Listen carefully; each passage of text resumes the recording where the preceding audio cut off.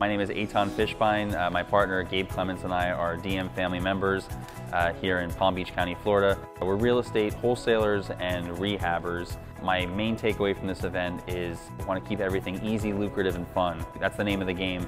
And so uh, the way we implement that is we'll go back, review what parts of our business are causing us trouble and what parts of our business are causing us stress and see how we can tweak that and change our, our model to uh, be more easy, lucrative, and fun.